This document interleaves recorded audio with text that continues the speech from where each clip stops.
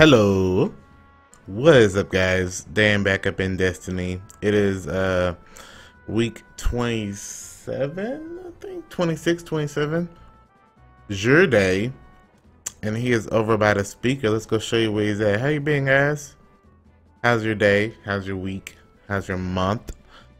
How's the hype train for April 12th finally? New exotic hype new gear hype, new PvE hype. He's over here by the speakers. Let's show what he's brought. Xur, jur, jur, jur, jur.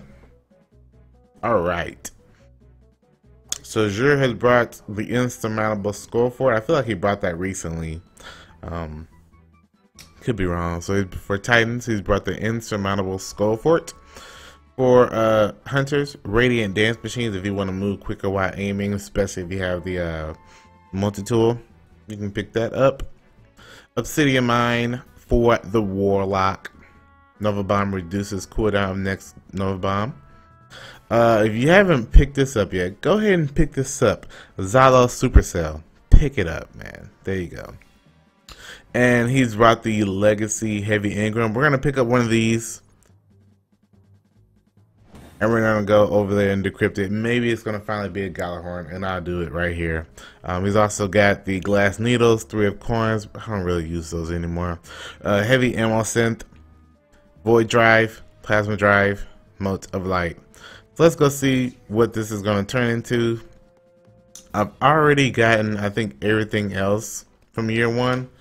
Um, Thunderlord, I've gotten. I, I don't. I've not had a truth from year one. So hopefully this rolls into hopefully rolls into the Gjallarhorn.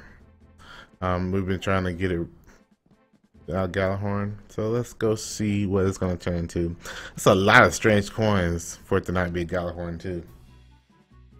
Come on, come on, come on, come on, come on. Ah, all right. Well, we finally got a truth, so maybe I'm a farm for some more strange coins, and maybe they'll finally give me Gjallarhorn after the next one. So uh, thank you guys so much for watching the video, guys. Make sure you rate, comment, and subscribe. And uh, yeah, I will see you back in Destiny. Peace.